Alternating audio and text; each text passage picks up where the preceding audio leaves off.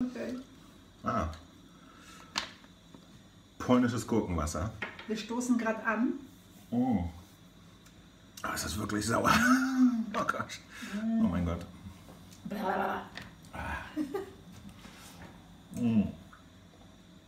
Warum trinken wir das jetzt eigentlich? Das ist doch. Du hast gesagt, das ist gesund. Ah ja. Und wir stoßen an auf ein Ereignis. Auf ein Ereignis ist übertrieben.